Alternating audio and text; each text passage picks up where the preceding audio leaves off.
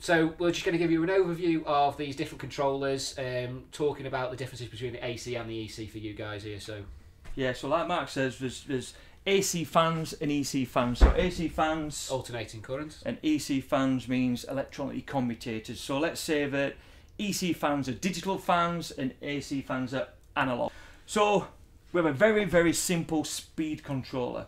Uh, all this will do, you've got a, an intake and an outtake, so you can pl- plug an intake and an outtake fan into this. And it's just a speed controller. Literally, you just control your speeds, set your minimum pressures, so basically you've got negative pressure coming into your room. Very, very simple, cheap controller. Then the next controller that we do is very similar, but what this is this has got a probe on it. So this is measuring the temperature within the room. So you can set your temperature, you can set your temperature 25, 26 degrees, you can set your maximum fan speed and your minimum fan speed, and that will basically drive again only EC fans, but it will drive an extraction and an intake fan. So that's got an element of taking measurements, got a calculation in there, and it controls the fan accordingly. Yeah, basically, Yeah. when you're below set temperature, you'll be running at minimum speed. When you're above set temperature, you'll run to maximum speed. AC technology now then. So um, this is the baby equivalent of just a, well, it's a it's a hybrid between the two really. So without the probe, um, this one just becomes a fan speed controller.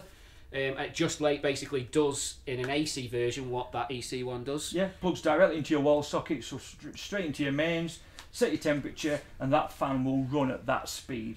Plug the probe in there, and this is now measuring temperature. Set your um, your maximum temperature, and basically what this will do will work between your minimum and maximum speeds uh, to keep your co- uh, room as cool as possible.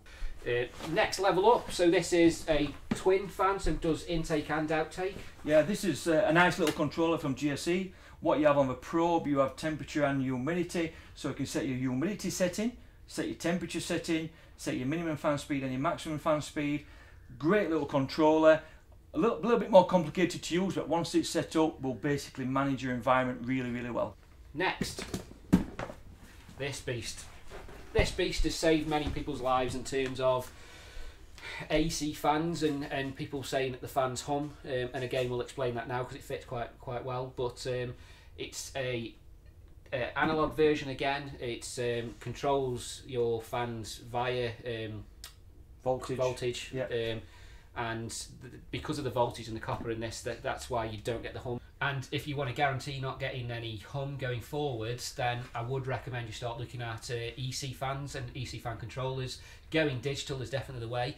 And for those people who are worried a little bit about the budget, we've got two fan controllers here that allows you to mix and match um, AC and EC technology. Literally just a fan speed controller. You can balance it. You can do quite a lot within the programming, but it's literally only going to control your fans. and Yeah, that, that's a fan controller. So Yeah. basically, uh, it will do your AC fans, it will do your EC fans, it will do hyper fans, revolution. There's there's all sorts of different programs inside it to switch your fans.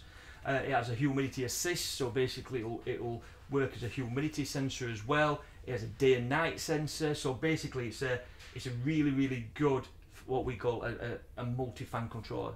Cool.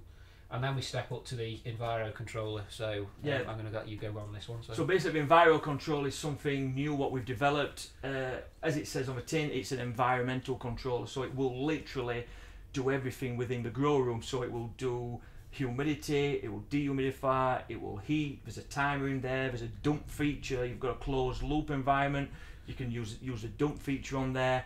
It's got AC and EC technology built in. So basically, it will it will run everything in the grow room, and we've been running this for for over 12 months, and everybody loves that controller.